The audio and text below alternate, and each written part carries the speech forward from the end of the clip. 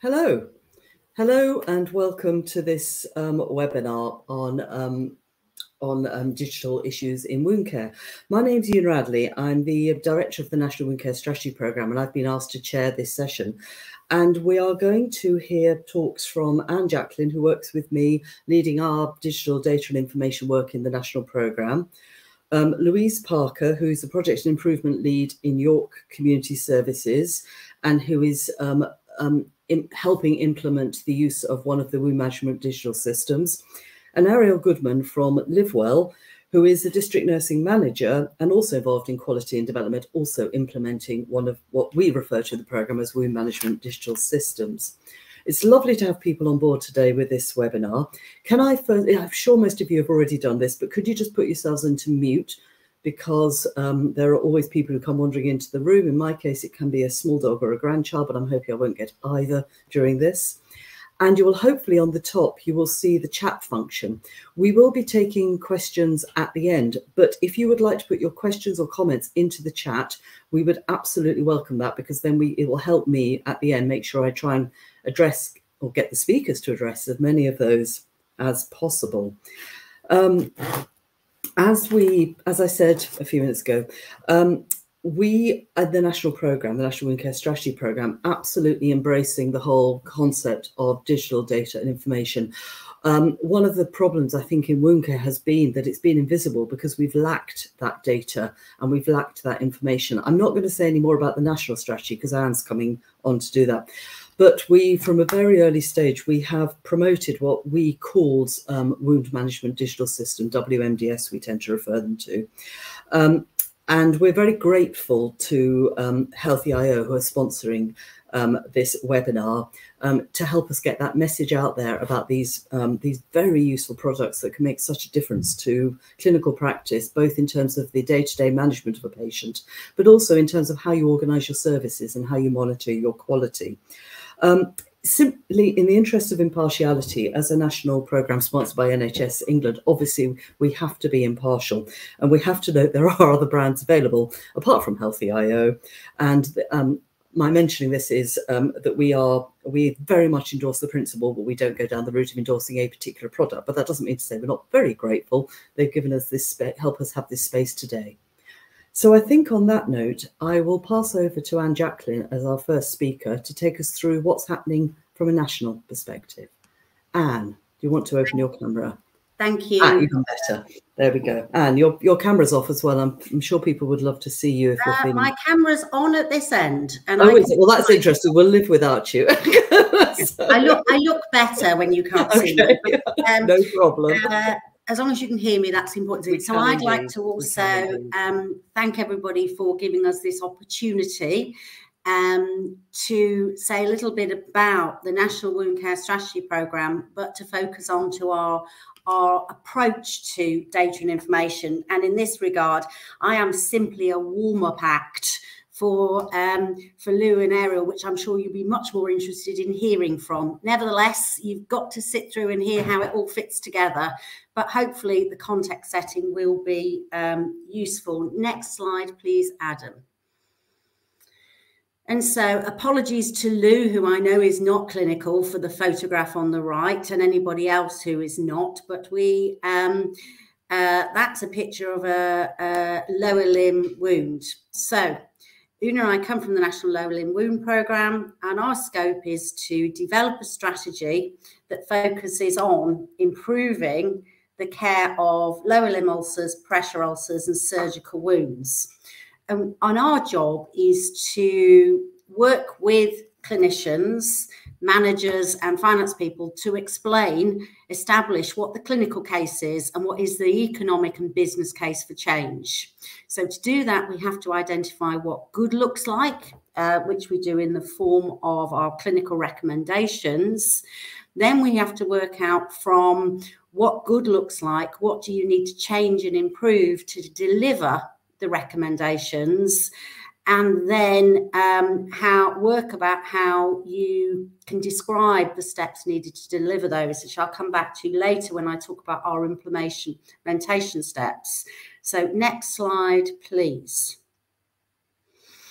And so um, this is a rather old formatted slide, but it's a way of trying to pull together what is our approach. So we we are an NHS England sponsored program. Um, and we have on the left our formal governance of our work streams.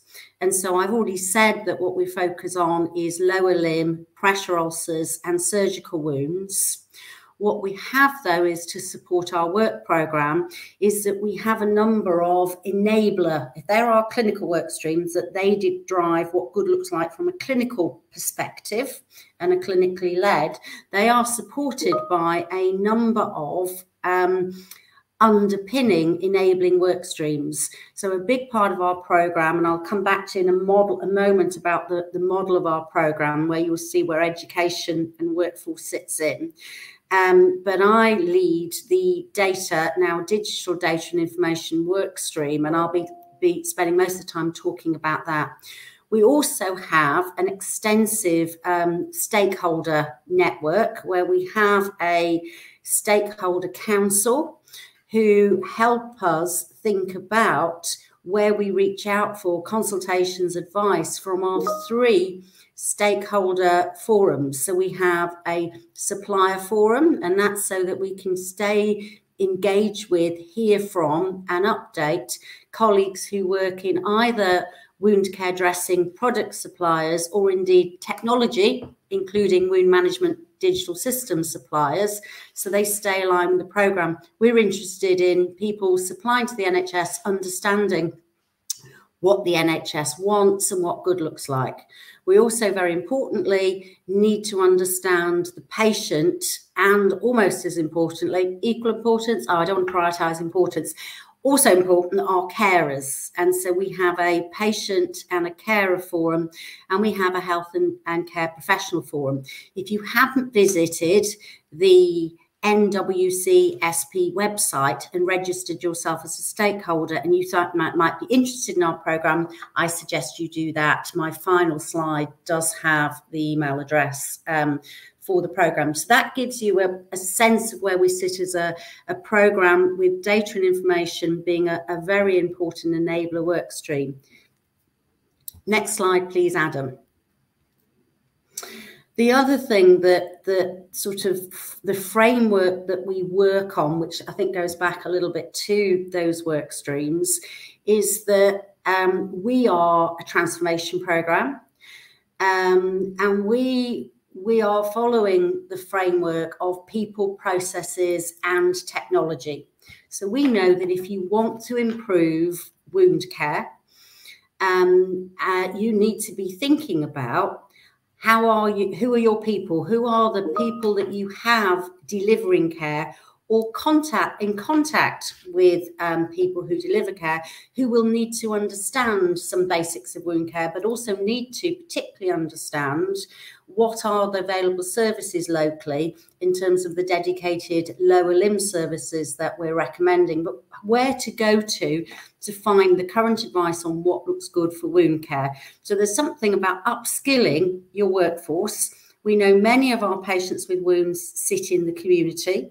They will sit in community care, primary care, social care, and having uh, health and social care providers aware of basics of wound care, having their educational levels up, and knowing about referrals is very important. We also need to support the people who are providing um, care services um, to know what the current guidance and recommendation are. So we've got a whole suite of educational materials that sit on health education uh, England website. They're free to use for people providing NHS care and they're frankly brilliant.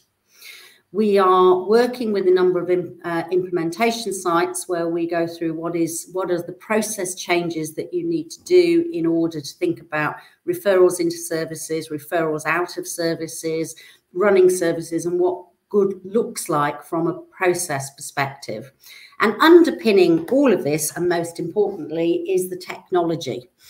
Um, if you want to, we, everyone that's done any improvement work um, with the IHI models um, knows that if you want to run an improvement product, the first thing you do is you identify the improvement, you describe it, and then you start to measure what it is that you want to improve, and then you monitor the improvement um, to make sure that you the things you're doing actually show an improvement.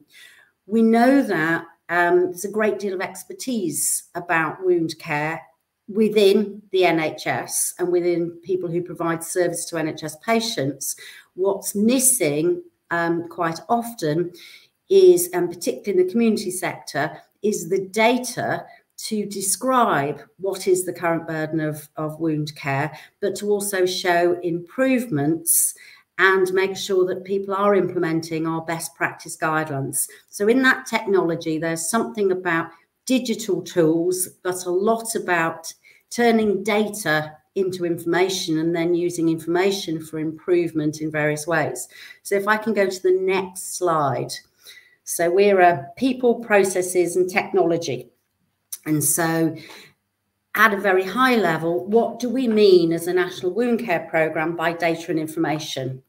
Well, what we mean by data and information is what we're interested in is our patient data. So, if we're going to work with our patients, we do need to understand something about our patients, not only with regard to their, their demographics, but where are they coming from, where are we referring them to, what are their diagnoses, what are the activity volumes, and how we're best treating people. And most importantly, what are the outcomes we're getting? And our program for lower limb is, is highly focused on uh, lower limb healing rates and, in, and improving. Um, as part of that, we want to make sure that as part of our people and our processes that we've got the people who are delivering wound care are adequately um, trained and have the right skills to provide modern wound care, but also they're working in services which are adequately um, specified and supported. So, for workforce and productivity, we're interested in the staff involved, thinking about skill mix and thinking about the type of activities. We are interested in wound care products, but it's probably the lowest focus, uh, certainly the lowest focus of my time. We know that what good looks like from a lower limb perspective is getting the right person early to the right team to do the right assessment to then either refer for surgical interventions plus or minus for lower limb, getting people into early and appropriate compression. Uh, wound care products important, but not a major priority for our program at the moment. So everything else that I talk about from here, I'm really focusing on patient and workforce data. So if I think about data, I also then need to think about information. And we use information for two major purposes in the NHS. Well, actually, we don't.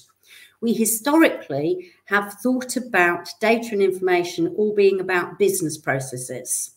So we know that we have data information to support commissioning and contract management, to have service management for business case development and performance management. We've paid much less attention, in my experience, into the NHS about the of data for clinical purposes. And so, what, and particularly in the community, what support do staff providing clinicians and carers and healers and patients actually what data do they have available or information to support at point of care? Um, continuity of care decision support knowing what good looks like how much time do we all, all spent auditing and re-auditing and um, trying to do improvement programs.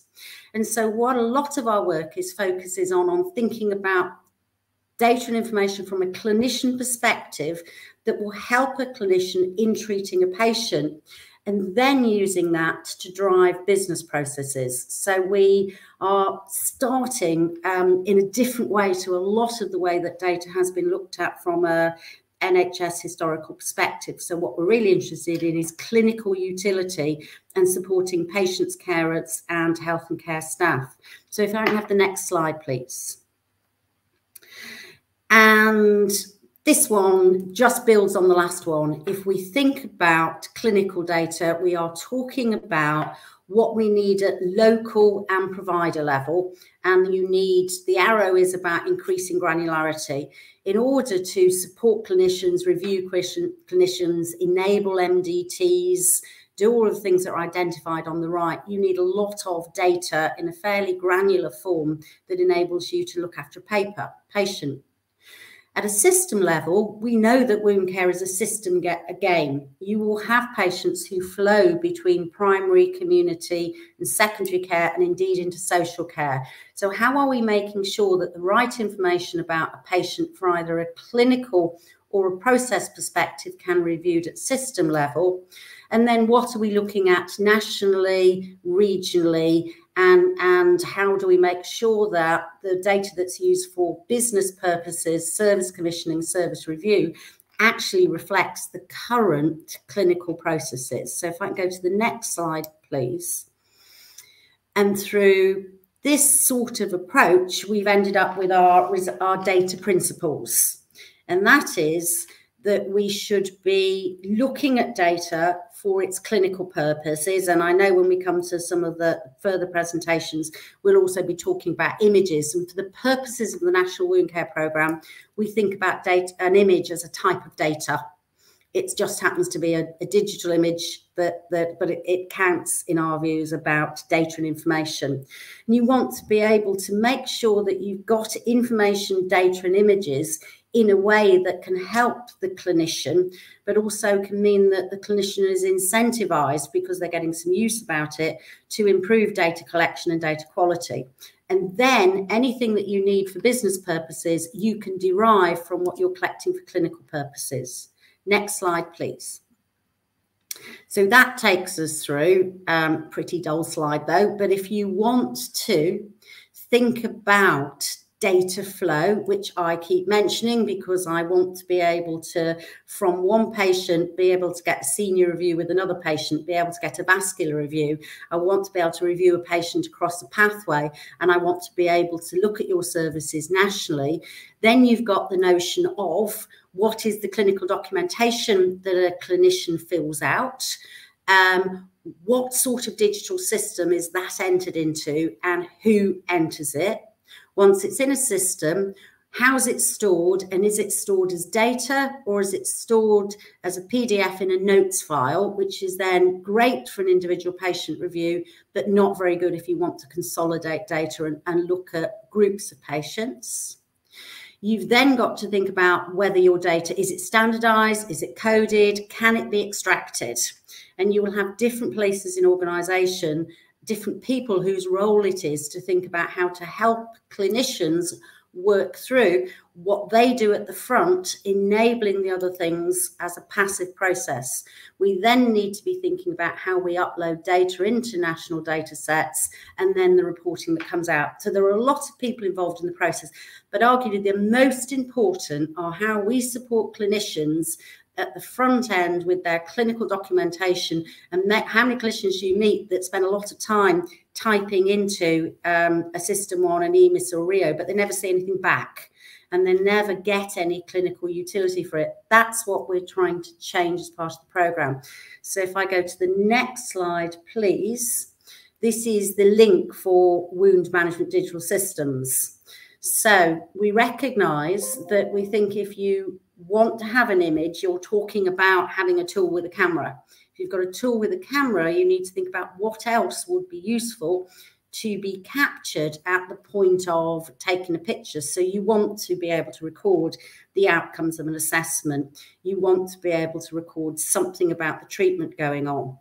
And so we, as a national program, developed this concept of a wound management digital system. And on our website, we have a functional overview, which basically lists the features that we believe help you as a clinician, as an NHS manager, as a developer of WMDSs, know what the NHS is looking for. And so that we've got a shared understanding of what we mean by WMDS. We in the last year have commissioned the Professional Record Standards Body to think about how do we standardize the way information this is boring if you're clinical but it's important. We've got to standardize information and be able to get data flows. And then more interestingly even if you've got a system and we know that most clinicians are interested in images it's not quite that simple. And we've done some support information for how you take a good image that we've also shared with our system developers who are working all of the time to improve the utility of image capture so that you don't get confused that dark light is the same as, as necrosis and various things. So there's some resources there for people to use. So if I can go to the next slide, um, please. Then I can then talk about, I've told you a little bit about the shape of the program where people, processes and technology, a little bit about how we view data and information and where WMDS fit in. We don't just sit in an ivory tower, or as you can see from Una and I, are in our in our home offices or dining rooms. We work with seven first tranche implementation sites. That's one local health economy in, in seven, each of the seven regions of England to, to be implementing our lower limb recommendations, people, processes, and technology, where we're learning about how best to do all the things I've talked about and, and see how we enable to support clinicians in their day-to-day work um, and from that derive data and information that nobody's interested in the front end. I know Una, I'm nearly finished. Thank you. Um, we've just started to work with the academic health science networks who are develop who have just recruited five test and evaluation sites. And we're doing some work with the NHS England Transformation Directorate. And that's my last slide. And it's through working with those currently set, set 12 um, NHS systems is we're getting live feedback from people trying to work on the, the ground that informs the thinking of everything I've shared with you. And my last slide just, I think, has a website. Um, and so apologies for marginally overrunning. Um, I nearly always do. Thank you. Thank you so much, Anna. That's why I flashed my mind up. I know we, we both of us could talk the hind leg off a donkey, but I hope it's useful. As we say, there'll be questions at the end. If anything has occurred you want to ask about, please put it in the chat and we will pick it up um, at the end. But Louise, can I please pass on to you now to take us forward into the work you're doing in York? Thank you very much. Hi, uh, yeah, thank you, thank you. Um, my signal's not brilliant, so I'm going to turn my camera off as well, if that's um, mm-hmm. if that's okay. Of course.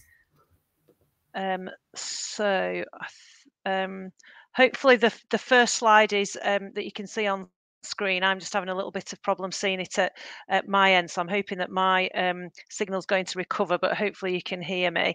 So I've just been asked to talk about um, our journey um, in York around implementing um, a digital um, wound imagery tool that um, we were fortunate enough to be able to get some funding to test and try out. so that's that that's uh, that's the journey that I'm going to take you on. Adam, could you go to next slide, please?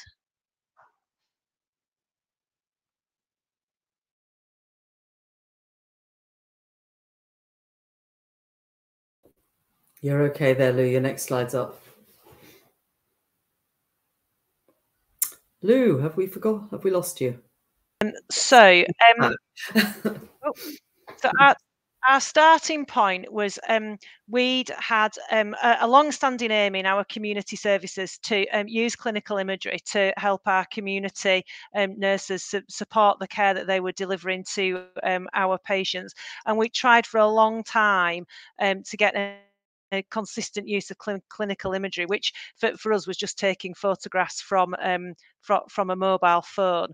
Um, but we didn't really have very very good success.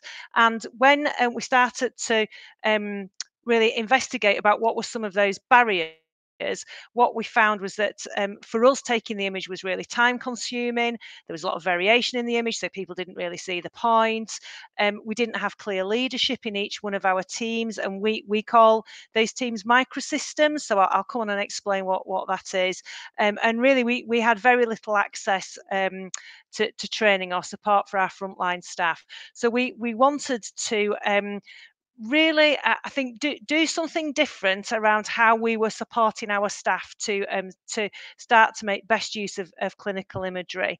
Um, adam could you go to the next slide please so these were the things that we identified that we wanted to do. We really wanted to be able to have the, the right product. Uh, and like I said, we were fortunate enough to be able to apply and be successful for some funding from the Unified Tech Fund under a fund called um, PODAC, which enabled us to purchase a, a, wound care image system called Healthy IO that was the one that we we wanted to test.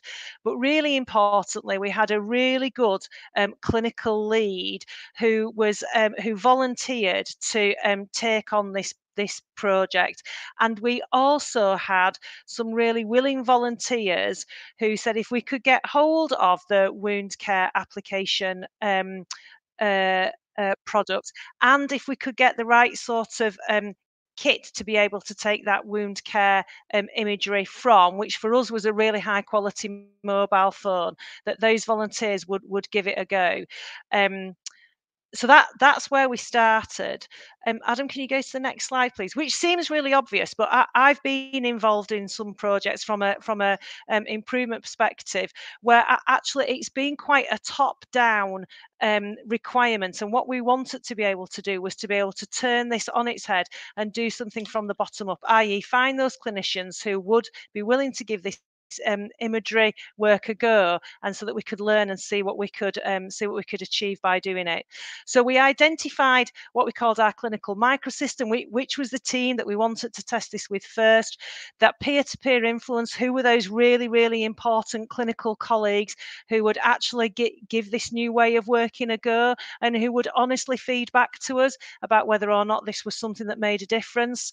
Um, we used Rogers curve of adoption which I've I've got a slide later on and, and show you why that theory became really increasingly important for us, particularly around those people who would be those early innovators uh, and early majority to give something a go. We, we employed the idea of social movement theory, which is about not just identifying those people in leadership role, but very, very crucially, um, the followers, the, the people who would be using this type of um, product on, on the ground to um, help and support the care of their patients. And then we use some of the stuff from the IHI. So we use the idea of PDSA cycles, we use the idea of testing, we use the idea of having a fairly strong vision, but actually wanting to give that a go in practice.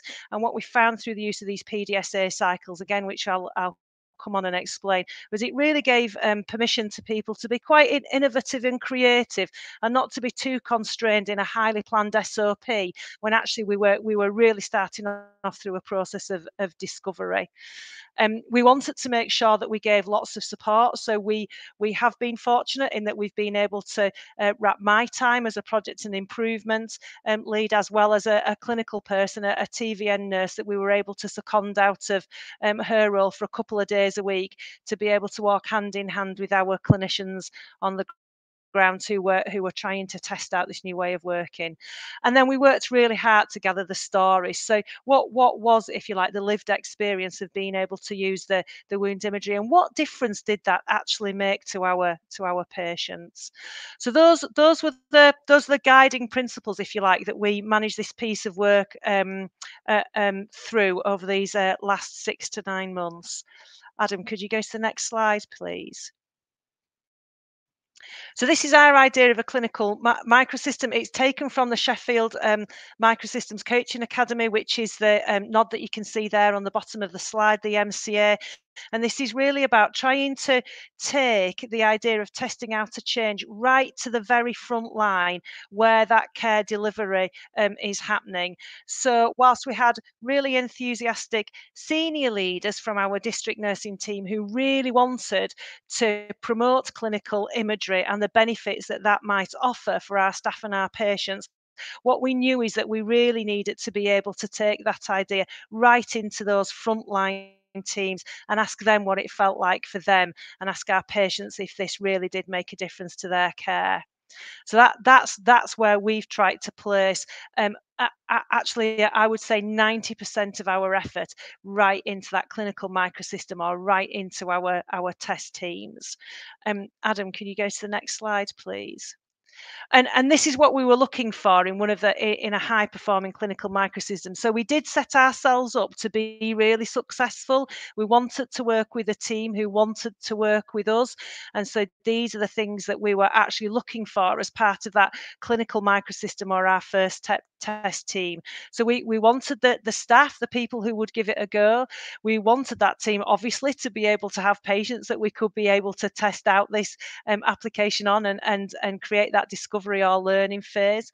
We wanted to be able to track our performance, um, and so we wanted to be able to see that visible improvement. As Anne said, um, some of that's data, and some of that's through the clinical imagery itself, and the difference that that could make to the delivery of care and we wanted to have the leadership at that level i.e we wanted our matron and our team leads and really importantly our district um, our district nurses at all levels throughout their team to actually say yeah we'll we'll give this um, we'll give this a go and those were our um, conditions for success if you like when we then asked for um, teams to volunteer to be part of our, our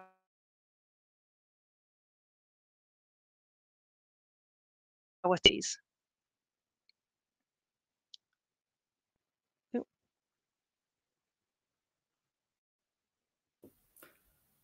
Louise, I think we lost you there for a minute. I think we've lost you entirely now. Um, I'm hoping Louise will come back on in a minute to carry on. Yes, looking hopeful. Louise, sorry, we lost you for a second there. Sorry, I'm just just wondering if we can go to the next next slide. Next slide.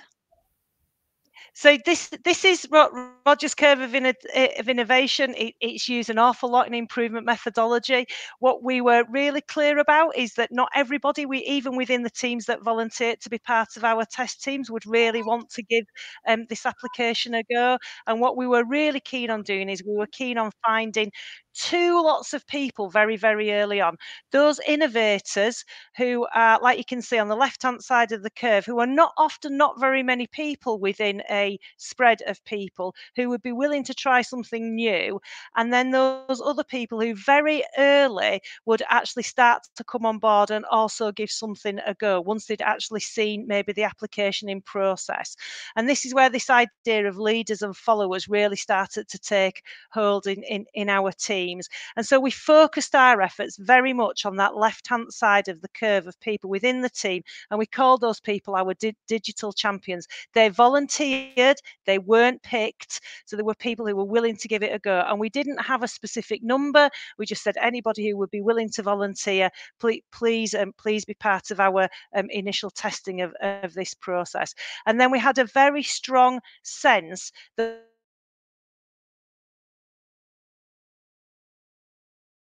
other people in the team, either the early they saw the benefits of, of this particular way of working. And we've also held within our um, test teams that will know for some people, and I think the term laggard can be sli- slightly disrespectful. So, um, although it's there on the on the slide because it's part of Rogers' curve of, of, adoption, it's not necessarily a term that I would say out loud. That there will be some people who this way of working with with this with our particular application, it, it's just it's just not something that they're going to grasp very easily. And there's all sorts of re- reasons um, for that. Um, Adam, could you go to the next slide, please? So this is this is just a video that um, I, I wondered if might be quite nice to show you because this is quite an illustration, I hope, of the um, kind of process that we've used as we've started to um, test out and then hopefully spread uh, and get more and more people on board in our teams to use this particular application that we've got for, for digital imagery. So for, for me and for the teams that we've showed it to, it's really showing the concept of what we mean by leaders and followers, or those innovators and and, um, and, and early adopters, and then and then your later majority. So um, Adam, I wonder if you might be able to play the video, please. If you've learned a lot about leadership and making a movement,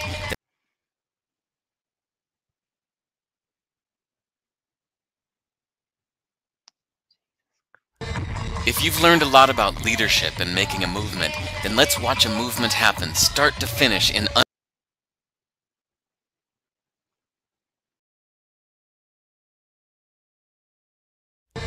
If you've learned a lot about leadership and making a movement, then let's watch a movement happen start to finish in under three minutes and dissect some lessons. First, of course, a leader needs the guts to stand alone and look ridiculous. But what he's doing is so simple, it's almost instructional. This is key, you must be easy to follow. Now here comes the first follower with a crucial role. He publicly shows everyone else how to follow. Notice how the leader embraces him as an equal. So it's not about the leader anymore, it's about them, plural. Notice how he's calling to his friends to join in. So it takes guts to be a first follower. You stand out and you brave ridicule yourself. Being a first follower is an underappreciated form of leadership. The first follower transforms a lone nut into a leader. If the leader is the flint, the first follower is the spark that really makes the fire. Now here's the second follower. This is a turning point. It's proof the first has done well. Now it's not a lone nut and it's not two nuts. Three is a crowd and a crowd is news. A movement must be public. Make sure outsiders see more than just the leader.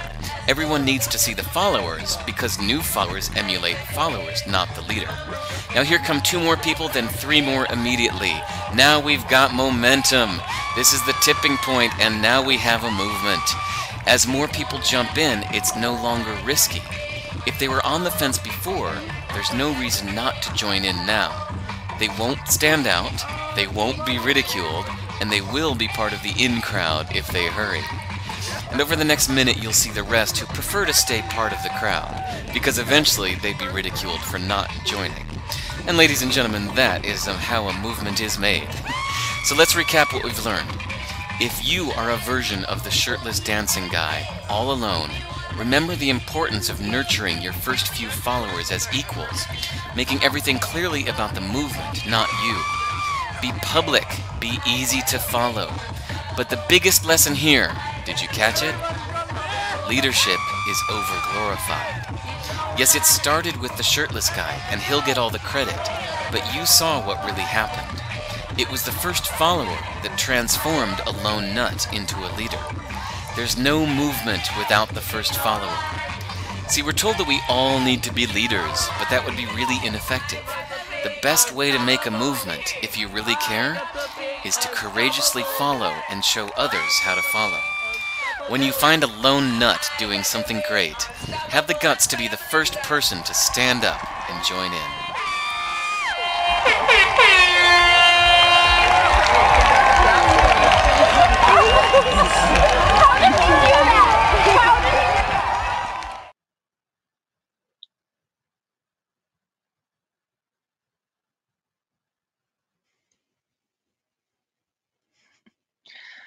Um, so ho hopefully, um, hopefully you can hear me there. But ho hopefully that gives you um, a bit of an indication around um, some of the way that we um, ha have tried to manage our um, our services, and we've been or, our implementation of this um, wounds care application. So I, I, won't go through that that slide uh, again, but hopefully it gives you some of those ideas that uh, actually for us, whilst we knew we had our innovators, we wanted to find those followers, and we knew that the people who were the followers and then who came on later on probably were not going to to behave in exactly the same way as the innovator, but actually they did enough to be able to test out this wound care application. And that's what we wanted, that mass spread. Um, so Adam, could you go to the next slide, please?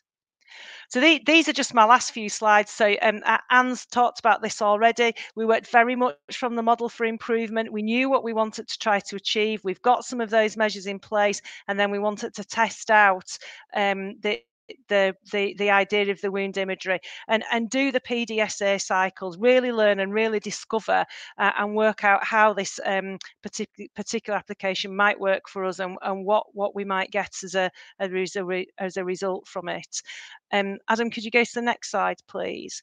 And this was one of the key things, which was uh, this slide here, which was honestly, do go ahead. Please give it a go. Please, as clinicians, don't don't don't feel like you need to come back to us and ask us permission. If you've got the permission to take the image that you want to take, please give that a go. We would like you to test and try out this application so that we can learn alongside you as we're using this particular um,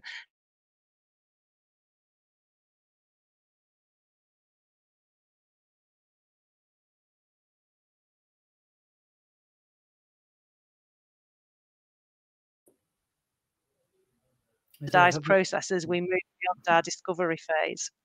Um, and then the last one is just some of the principles that we've used uh, again to um, to, to keep us sane um, as we go through it because it's not a straight journey and things don't always work as you want them to work. And so these are just some of the principles that I've used with my colleagues to um to to, to keep us going and uh, yeah hopefully now move to more standardized processes and in, embed this this particular way of working as as normal practice. And that's us. Thank you, Lou. Wonderful video. And it absolutely captures that courage and of actually doing something different and going for it and just keeping the vision. So thank you. I think that was really, really interesting. One of the most difficult things about getting change. Right, conscious of time, Ariel, we're not doing too badly time-wise, only five minutes behind, so that's not the end of the world, and there's no pressure to catch up. We can always just squeeze questions at the end. But over to you, Ariel, to tell us what you're up to in Livewell. Thank you very much.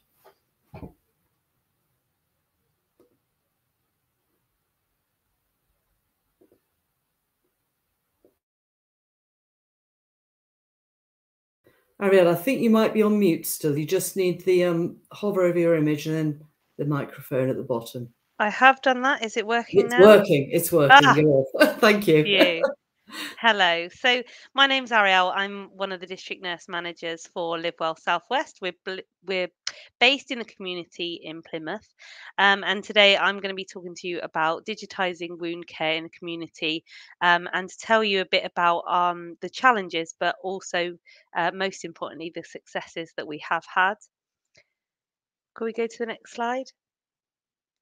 So just a very, very quick, we are Livewell in um, the community in Plymouth. We were formed in 2011 um, and basically we provide um, a service to a population of over 270,000 people.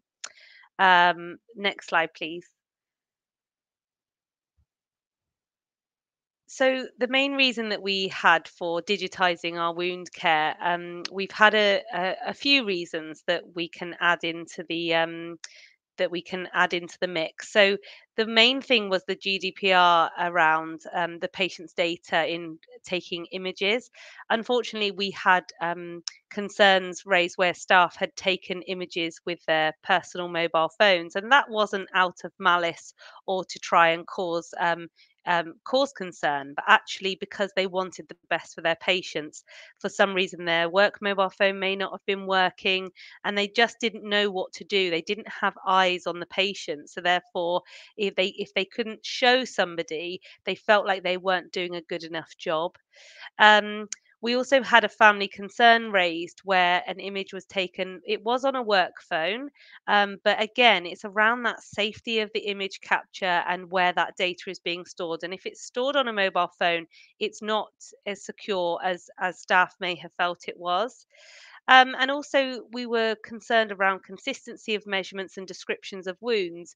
We'd had mer- many investigations where the investigator would really struggle to really hit the nail on the head when they were trying to put together a timeline um, of when the wound deteriorated, when it got better, um, and there was always always discrepancies in um, tissue tissue typing, mainly because that is such a subjective um, sub, such a subjective topic um, and analysis that you know two sets of eyes can see very different things.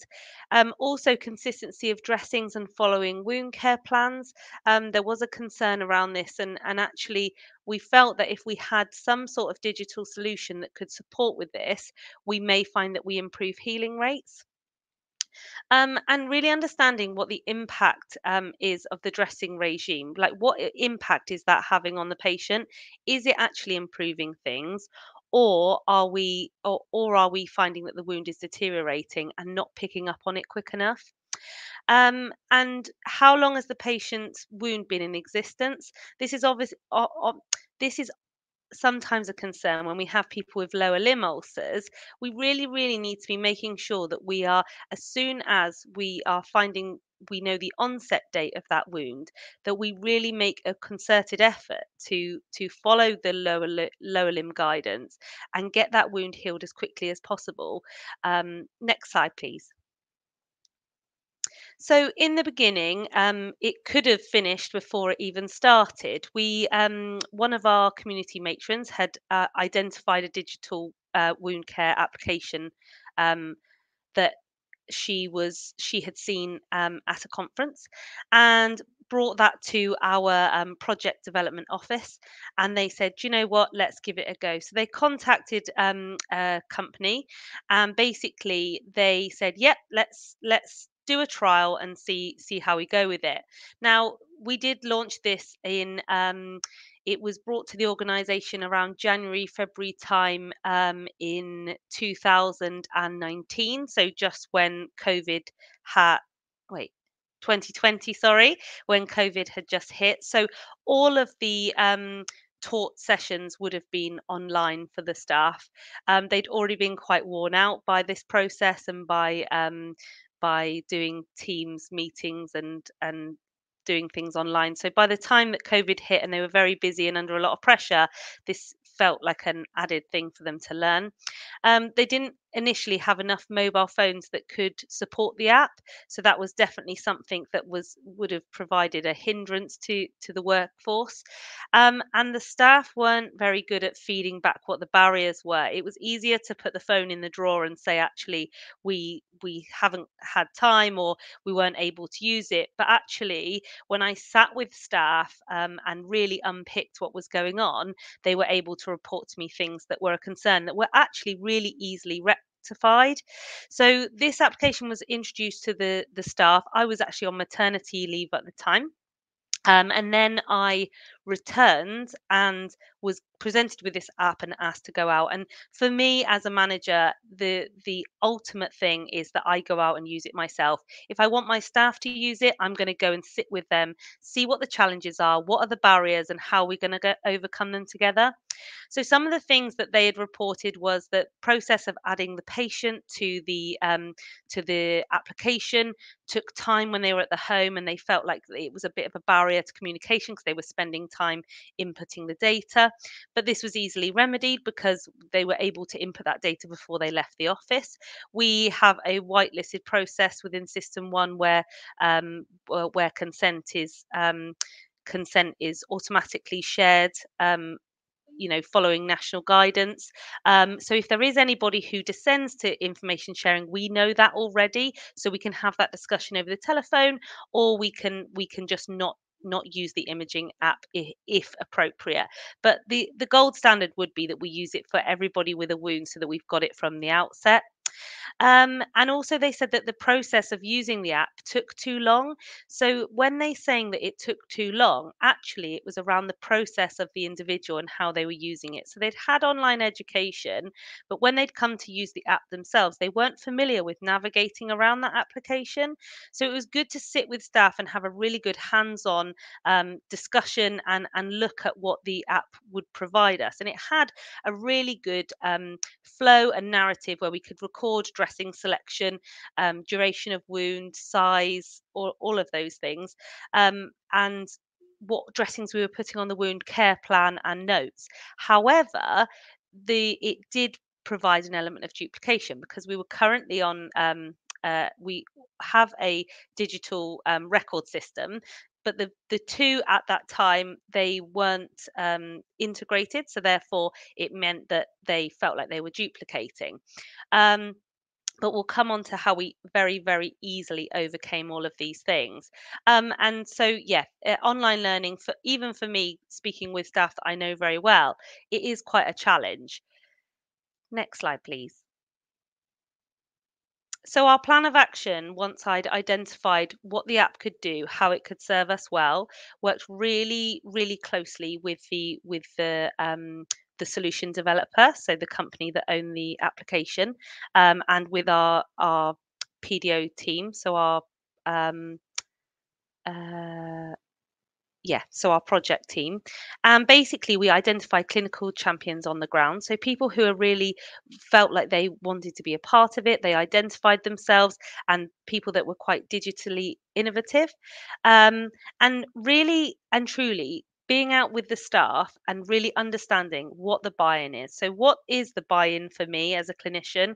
Well there's many many buy-ins there's many many benefits and we had to just identify them as we went along and record them so that we had it as kind of a mini training session if you like. Um, and we can talk about the buy-in in a minute um, and how we, how we achieve that. Um, then we had we made sure that we focused on it as a frontline rollout so it wasn't top down approach. It was very much in the hands of the um, the staff and making sure that they were aware of the application what um, the benefits of that application were and and how they were going to be able to um, use it to their benefit. Um, and really using the app to un, using the app and demonstrating the process to the staff so that they they didn't find it um, you know too challenging and actually putting together small videos and things um, that they could use to um, to understand how the app works. The company that we work with at the moment, um, what now, um, they are are great and they have educational videos that we can send out to the staff. So that was a quick win. Um, and I personally made a very basic slide deck of some success stories that we pulled out from from patients um, and um, it was really important because that showed the timeline and it showed staff how important it is to capture those images and have them as a um, as a as a timeline pictorial um, uh, monitoring of the patient. Um, and I spent time understanding the drawbacks. So spending time with clinicians and really understanding what we would need to to work with the with the um, the product developer um, on. This uh, the graph at the top actually is the initial rollout. So we started having talks at the start of the year, and then I came back uh, in June, July, and that's when we really started to accelerate our usage. So that's quite um, it's quite a nice nice graph to see. Next slide, please. So our plan of action continued with working with the solutions team, changing the application to benefit our organisation. They're really proactive, really understanding, and really um, supportive of what the district nursing needs were. Um, I say district nursing, the community needs, because we it, this has been rolled out in um, uh, many many services. All services who see wounds can use this application in our organisation now. Um, we sourced um, different devices. We managed to tap into a pot of digital in- innovation monies, and we were able to use that to get devices that we could use the um, the application on. Um, and we created a bit of competition. So the graph at the bottom I sent out to all of the staff, and it sounds really really silly, I suppose. But actually, by sending out a graph every week, it really inspired that um, that sense of competition um, and camaraderie between teams. Like we're going to win this month, and although feels a little bit maybe a little bit childlike and silly, actually it taps into that area of the psyche where people go, "Do you know what? We really want to win, and we're going to see how." And when we managed to get the amount of images increase, we were ma- able to get more data from more images, and therefore we could develop the app to meet our needs. Um, and we just focused on the benefits and managing the challenges as quickly as possible. Next slide, please. So it was a cyclical kind of implementation implementation. So understanding the needs of the service. So the need of having digital imaging to support quality um, and quality of service and healing wounds much quicker was definitely one of those uh, one of the main priorities. Um, supporting teams to implement it on the front line and making sure that we had team champions. So we identified four people within within each of our localities that they were going to champion and and drive things forward. And we had an email trail where they were able to support that process, um, and just really understanding the functionality of the solution and working closely with the the solutions team. Um, and yeah, those weekly updates were a real morale boost. Next slide, please. So the actual and potential measures of success, what we're hoping is that um, potentially uh, we would like to see our Syria investigations reduced. And we know how much manpower um, an internal investigation can take. And this in turn would be a cost saving. What we're finding is that if we can take images when we raise our incident forms, the managers are able to see the image, see the wound series, and feel a lot more reassured about the care plan that's in place, um, making sure that the you know the wound care plan meets the need of the patient, and making sure that the healthcare assistants, when they're going out, they can take an image, um, they can send that image um, it, the images all go to the cloud so it is really a it's a really secure way of storing our images but also it means that a senior clinician can review the um, images from from an office um, and they can give live information that live handover um, and describe what care plan they would like to follow and then they can complete that care plan. Um, trying to reduce deterioration. As soon as we notice deterioration, the application that we use actually monitors the size. We have a report that is generated every week that shows us wounds that stagnate or wounds that deteriorate. And that's really important and it has really opened our eyes to the potential. Um, it also is able to um, monitor the um, tissue type of the wounds. So if it's starting to develop a lot more slough or um, undetermined uh, tissue types, um, it it throws up a flag and says you need to review this wound and that is revolutionary in itself. But also um, allowing the caseload holders to re- review those patients more remotely. So even though they've given that advice over the telephone they can still add they can still add um, uh, that advice to frontline workers and then when they go to review the patient that could be in a week's time rather than at the very next visit.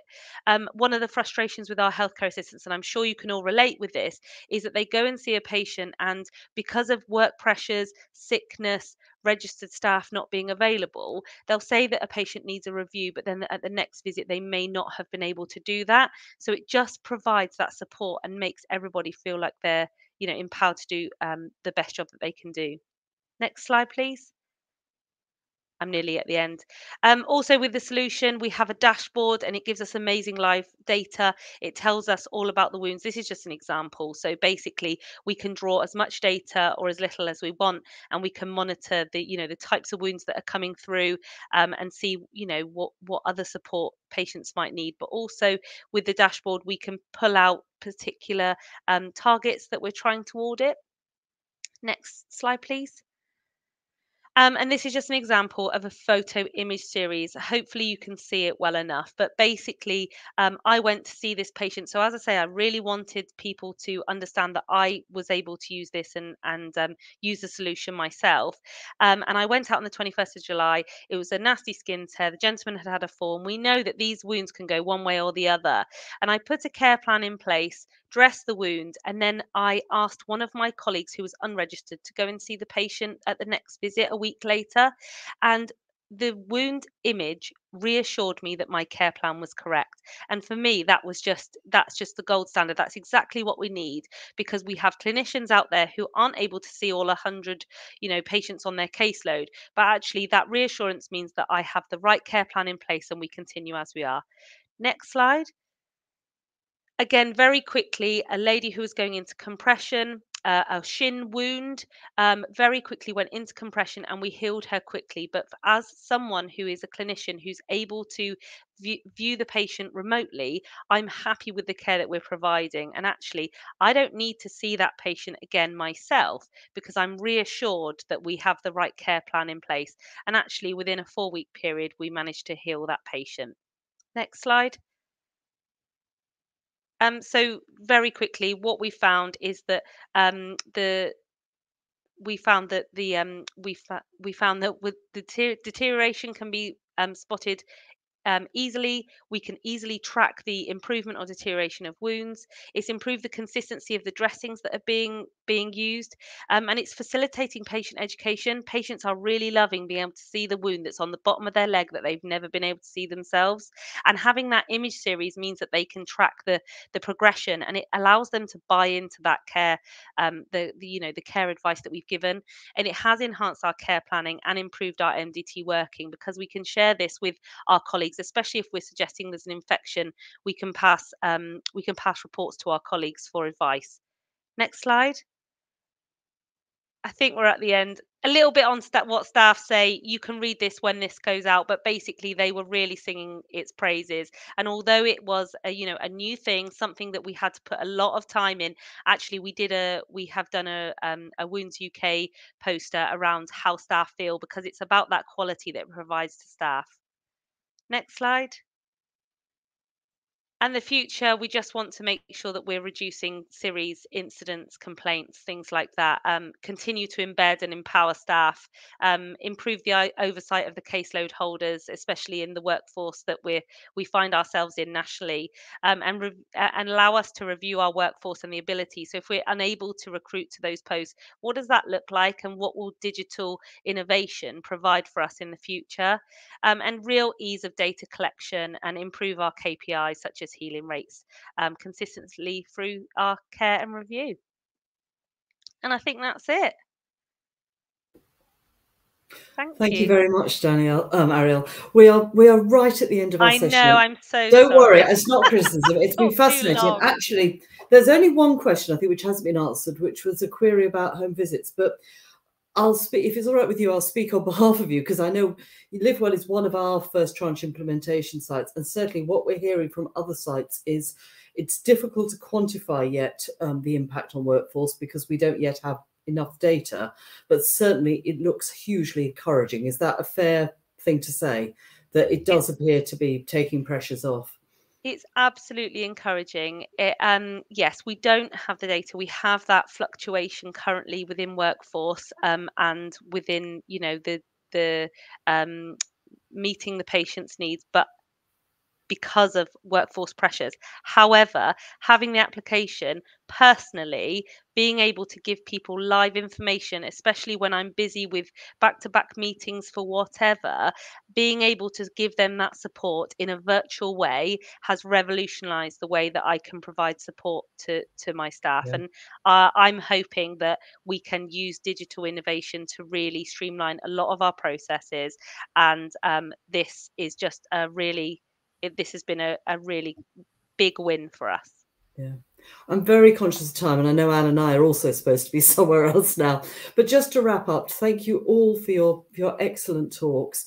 To thank the sponsors for sponsoring the session, and just a final thing to end up. And coincidentally, yesterday I had a I was speaking with my boss, and he and I had gone down to London. Oh, it's pre-COVID, so some years ago, and we'd looked at the early one of these, and he was saying how he'd seen the the most recent version of what it could do, and he could not believe the progress. But what was lovely was the company had said, but yes, but we've made that progress because of our work with the National Wound Care Strategy Programme and because of organisations like yours, that basically we've listened and learned and improved our product. And it absolutely, I know Anne is always in my ear going, use and improve, use and improve. And she's absolutely right, because we won't get this improvement unless we embrace such products, we use them, and then we feedback, well, it's good, but I wish it did this, or I wish we could do that. And that's exactly what's happening with these products. It's because organizations like yours are being brave, getting out there, using them, and not just throwing them up because they're not perfect, but saying, yeah, it's good, but you know what? It'd be even better if it could do this.